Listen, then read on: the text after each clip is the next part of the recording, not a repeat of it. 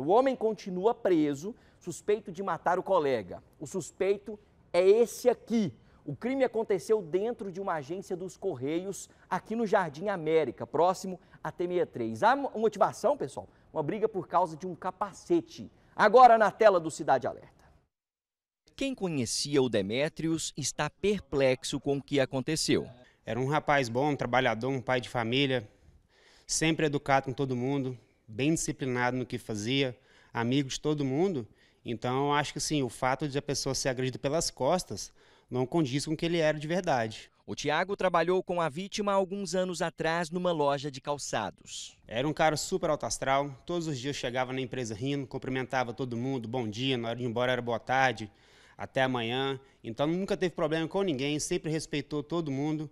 E assim, a gente fica muito triste com a situação, né? Porque deixa a esposa, deixa o filho. A vítima, Demetrios Moreira, trabalhava há mais ou menos três anos aqui na agência. Ele era terceirizado, de uma empresa terceirizada. O suposto autor do crime, o Tali Giovanelli, de 23 anos, também trabalhava aqui, na expedição, há mais ou menos um ano. Ele também era funcionário terceirizado. A vítima, o Demetrios, tinha 33 anos, casado, pai de um filho. Trabalhava como motorista aqui também na agência. Segundo uma testemunha que presenciou o crime e que trabalhava com eles, a relação dos dois no início era boa. Porém, de uns meses para cá, estava estremecida.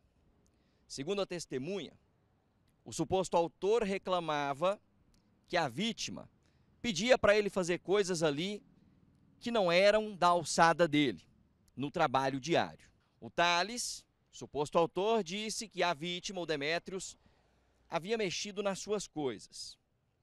Passou um tempo, ele reclamou que estava faltando ali a trava do capacete dele, do capacete que ele usava na motocicleta dele. Uma travinha que faz com que o capacete possa ser preso ali na motocicleta.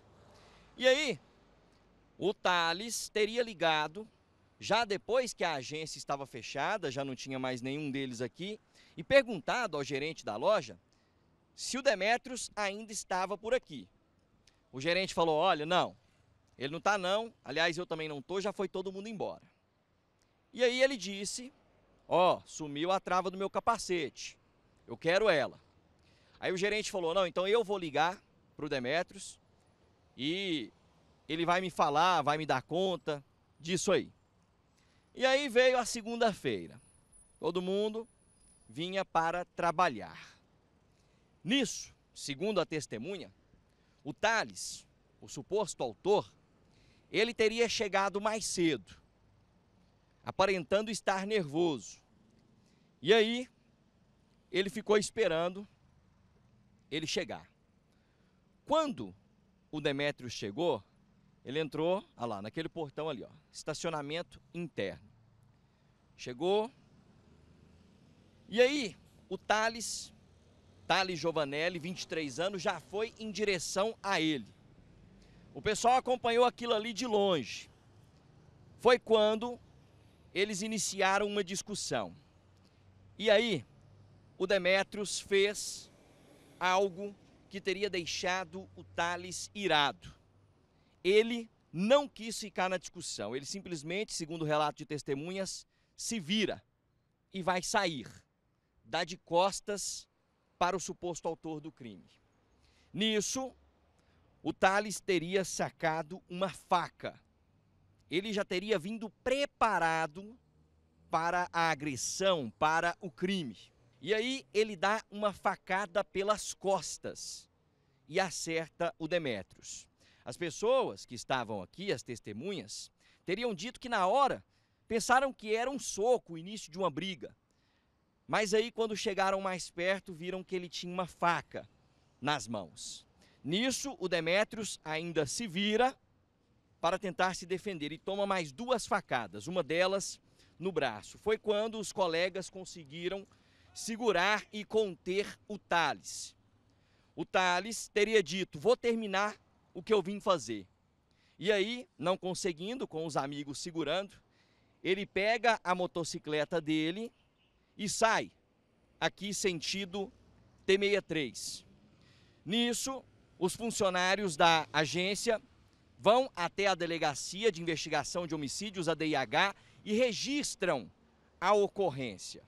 O Tali Giovanelli pode ter sido orientado a se apresentar em uma delegacia qualquer e assim tentar fugir do flagrante, não ser preso, responder talvez em liberdade. Mas quando ele chega no sétimo distrito policial para se apresentar, lá já estava lavrado o auto de prisão em flagrante.